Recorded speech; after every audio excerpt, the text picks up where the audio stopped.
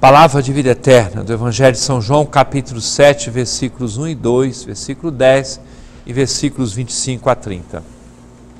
Jesus estava percorrendo a Galileia.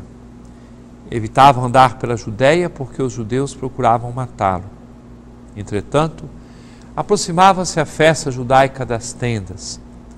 Quando seus irmãos já tinham subido, então também ele subiu para a festa, não publicamente, mas sim como que às escondidas. Alguns dos habitantes de Jerusalém disseram então: Não é este a quem procuram matar? Eis que fala em público e nada lhe dizem. Será que na verdade as autoridades reconheceram que ele é o Messias?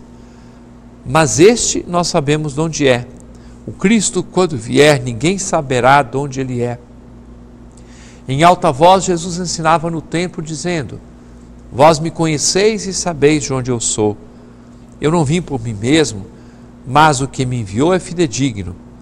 A este não o conheceis, mas eu o conheço, porque venho da parte dele e foi ele quem me enviou. Então queriam prendê-lo, mas ninguém pôs a mão nele, porque ainda não tinha chegado a sua hora.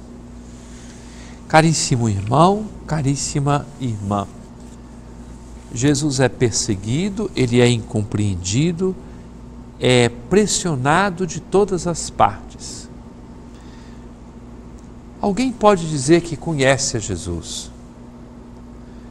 Conhece por tê-lo ouvido, visto, passado pelas estradas da Galileia. No entanto, conhecer é algo diferente.